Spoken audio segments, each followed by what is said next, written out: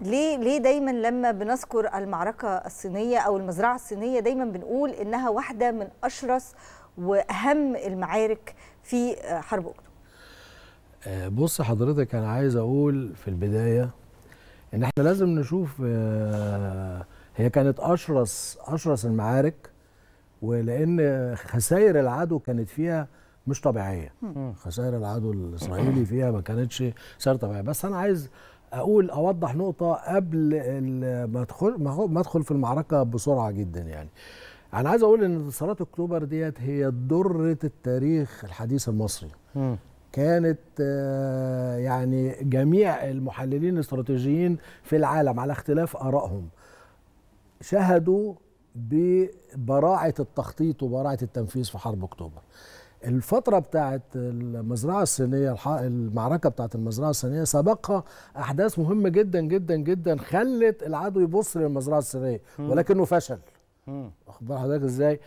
آه، الجيش المصري كان بعد 5 أكتوبر كان بدأ يعبر القناة ويعمل رؤوس كباري رؤوس كباري ديت اللي هو الخطوط اللي هو بيقف عليها ويبتدي يعزز الدفاعات بتاعته العدو في الوقت دوت عمل هجمات مضادة عشان يستعيد الأوضاع لأن طبعا قدرته والردع الاستراتيجي والجيش الذي لا يقهر كل الكلام ده آه، سقط بعبور القوات بتاعتنا لقناة السويس.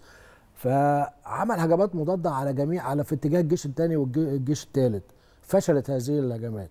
كان لازم يرجع تاني ويقول طب أنا عايز أحرك أحرك الموقف. احرك الموقف أرجع حاجة كده عشان الناس في إسرائيل يبتدوا يعني يرجعوا ثقتهم في الجيش الذي لا يقهر دوت. فبدأوا التوقيت ده برضو خد بالك في نقطة مهمة جدا جدا. 13 و14 كان بدأت القوات الأمريكية تعمل جسر جوي لدعم القوات الإسرائيلية. كان القوات الإسرائيلية على وشك الانهيار جولدا مائير بدأت تعيط تعيط تبكي في التليفون لكيسنجر وبتقول له إسرائيل بتنهار إسرائيل انقذوا إسرائيل. بدأ الجسر الجوي يشتغل بدأت الدبابات والطيارات امدوا إسرائيل ب 28 ألف طن ذخائر ومعدات مم. امدوا إسرائيل ب 100 طيارة فانتوم امدوا إسرائيل بعدد دبابات إم 62 واخد حضرتك إزاي؟ بدأت الطيارات الإسرائيلية تعمل استطلاع لخط القناة. لقت إن في فاصل ما بين الجيش الثاني والجيش الثالث. فقالوا إحنا حن... لا إسرائيل اخذت وقتها قرار إن هي تنفذ عملية الغزالة والعبور غرب القناة وتبتدي تحوط الجيش الثاني والجيش الثالث الثغرة دي. بس آه في الثغرة من الخلف. طب ما هو العائق أمام هذه الثغرة؟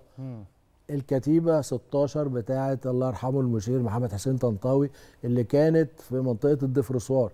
فقال لك إحنا لازم دي الأول نبتدي آه، نهزم يعني نز- نزيح الكتيبة ديت فبدأ شارون في الفرقة بقى بتاعت شارون اللي هي 143 وفرقة أدان اللي هي 162 بدأوا يدخلوا. أدان ده كان موجود في الساحل على الطريق الساحلي فوق.